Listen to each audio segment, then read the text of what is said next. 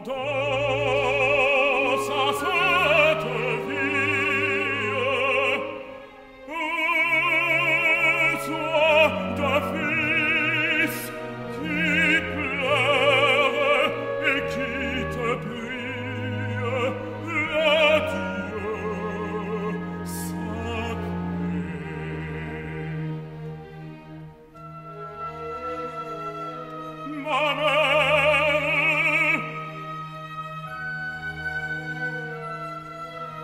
dir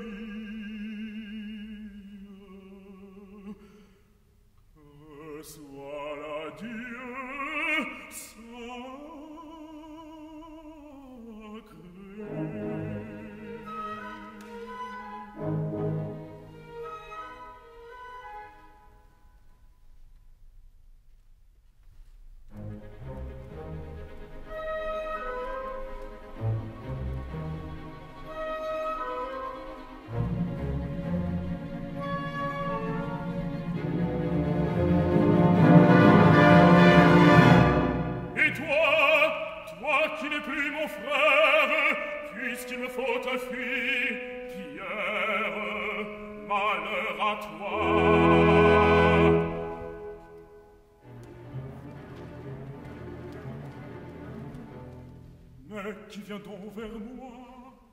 Si jamais l'objet de ma foi devait souffrir de la colère et courir un danger,